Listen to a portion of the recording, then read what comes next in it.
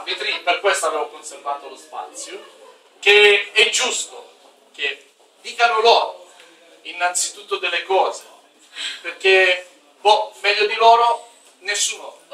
Nel segreto del tatami, nel segreto di questa disciplina, a prescindere che siano i vostri figli, perché credo che comunque siete stati soprattutto maestri e non genitori, credo. Eh? Allora, per il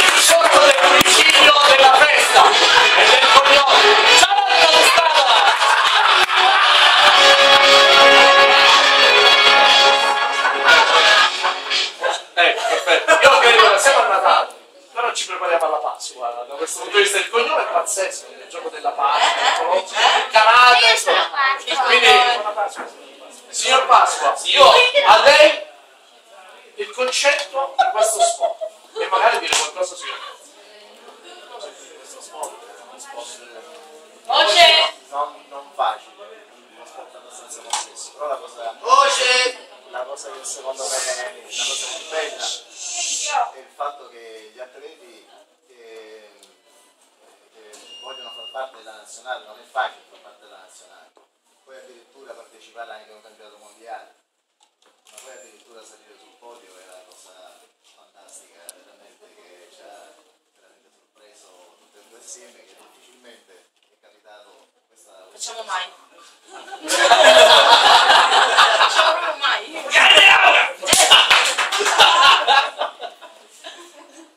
siamo contenti, felicissimi che ci godiamo questa, questa vittoria, questa medaglia. Perché diciamo che a differenza di altri sport, sport, linguaggio, telecamere, media, c'è poca visibilità, no? Eh. Di striscia. Però lui è uno che si fa sentire e quindi ora lo sentiamo perché è giusto chiudere questo momento. Forse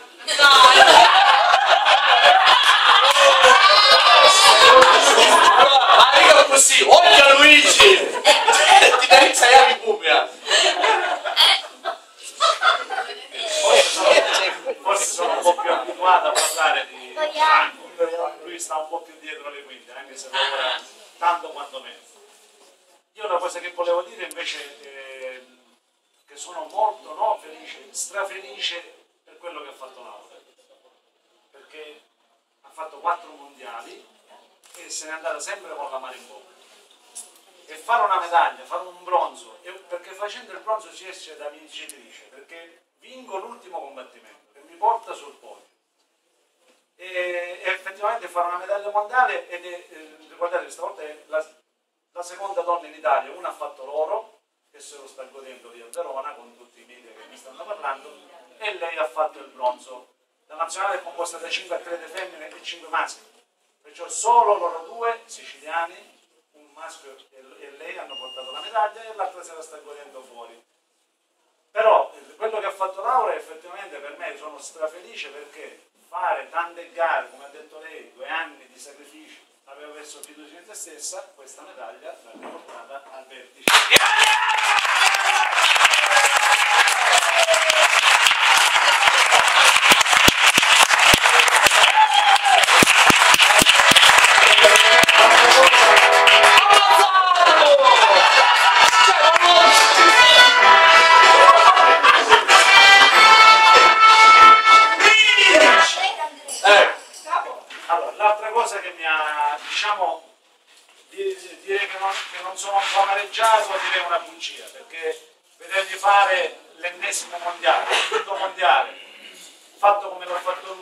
Subire un punto, come il mondiale fatto a Parigi, farlo in quella maniera e non riconfermare il titolo mondiale lascia la mano in bocca. Però io quando ci siamo parlati poi fuori ho detto guarda sono scontento ma felice nello stesso momento.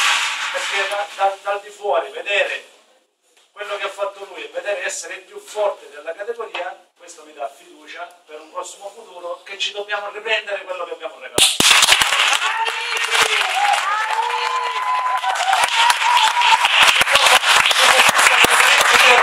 Una cosa di brutto, vuole sempre vincere, ma voglio vincere perché i sacrifici ci sono. Lui, loro ce la mettono tutta, lui ce l'ha messa sempre tutta. Ed effettivamente siamo arrivati a traguardi, penso, inavvicinabili, perché uno che fa in 5 mondiali, tra i quali 3 consecutivi fa le finali, fa 4 finali, due argenti e due ori, in più tutti i titoli, non, non so mai con gli europei abbiamo messo il conto, è, è il primo nella classifica mondiale dei migliori 10 al mondo di tutti i tempi, nella categoria 75 kg c'è una classifica, c'è un sito eh, che raggruppa tutti i mondiali dal 70 ad oggi. Lui ha scalato la classifica, il primo 75 kg al mondo di tutti i tempi e il secondo, purtroppo ancora abbiamo Agaev che lo andremo a battere a casa.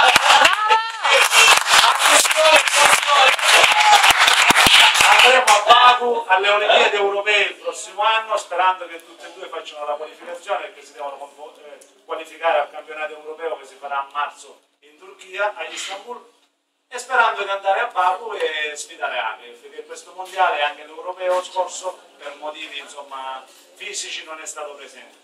Però Baku è una grossa vetrina, sono Olimpiadi europee, andremo lì a fare del nostro meglio e forse farci vedere 400 euro da che non lo so.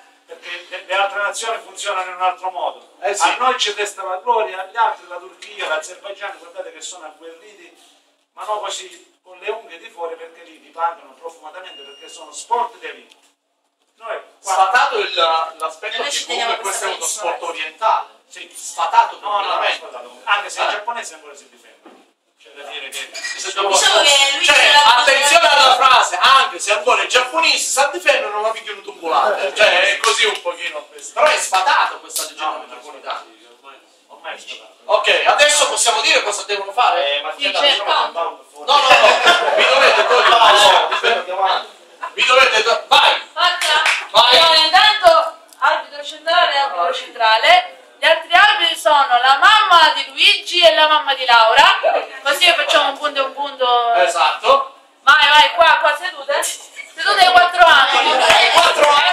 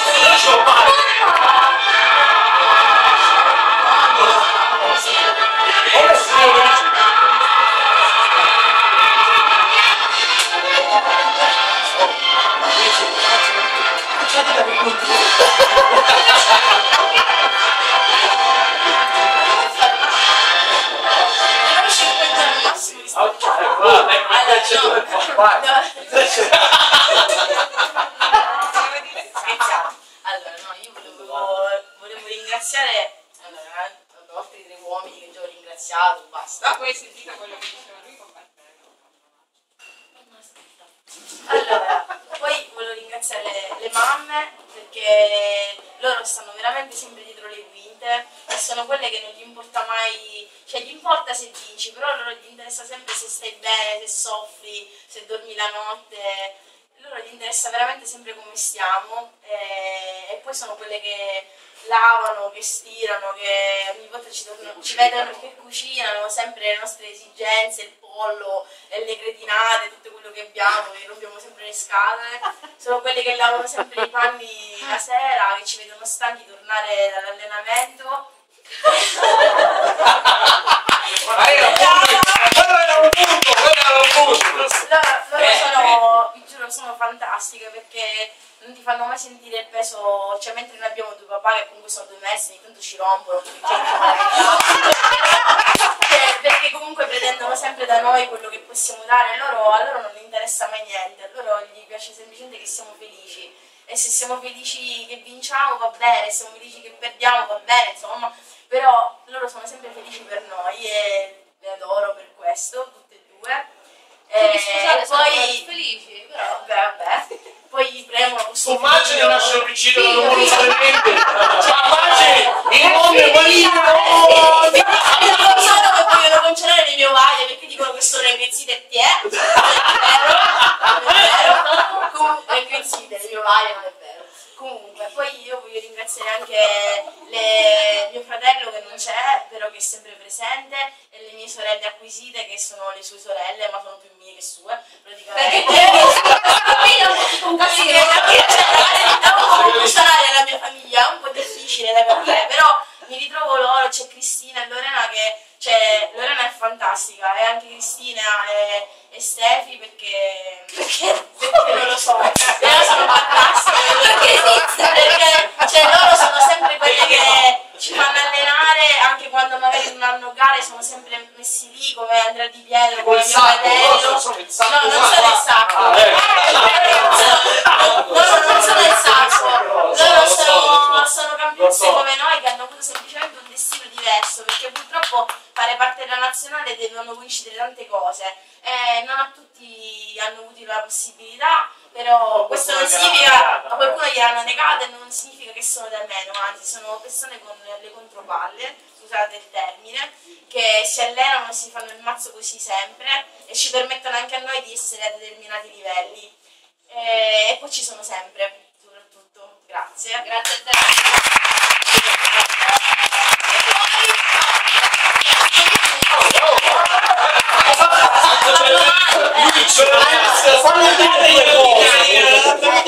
Ragazzi, fa miracoli, liceo classico I love you. Allora, poi anche tutti i miei amici, che sia di Avola sia di Siracusa, perché comunque siete fantastici, ci siete sempre, anche quando perdo, e soprattutto per questo io non lo dimentico mai, perché anche quando ho avuto dei momenti difficili ci siete stati sempre, avete sempre creduto in me, e anche Gigi. Eh, C'è un cagnolino? Lo so, però ho No, capito. veramente ne abbiamo tanti. Eh, perché ci fu una- un ciclista che disse sono contento di essere arrivato uno, ringrazio il mio cagnolino che mi aveva fatto compagnia nel deserto e si sostituiva all'albero e alla pietra, a voi le deduzioni. Perciò c'è un cagnolino, c'è un animale che diciamo in questo caso diventa un peluche, che co- diventa una coccola diversa, perché l'animale in questo aiuta molto, affettivamente. Ogni tanto io divento solo. Lui, Eh, bellissimo, è sempre lui, Eh, eh, però, vedi, lui è tutto per Esatto. cioè, Allora, posso intervenire un attimo, siccome siamo buttati paranoia, ci sono ormai sono tutti discorsi seri. L'ultimo ringraziamento io volevo farlo al è paese di Aula, perché ogni volta che io salgo su quel podio, fortunatamente tante volte, io insieme a me porto i miei parenti, i miei zii, i miei cugini, i miei amici, Aula, Siracusa, li porto con me e sono fiero, orgoglioso e onorato di portare sempre il nome di Aula su tutte le Io ti posso dire...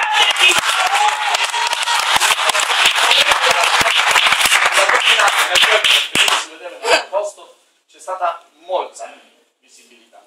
Quindi questo significa che magari il web non è come il territorio no? il virtuale è molto ampio. Quindi se ti dico che sono stati 30.000 a seguirti non ti dico una cazzata ti dico la verità da questo punto di vista. E fra quei 30.000 non solo avolesi questo è quello perché? questa è la cosa bella perché avete rappresentato un'Italia che forse ancora esiste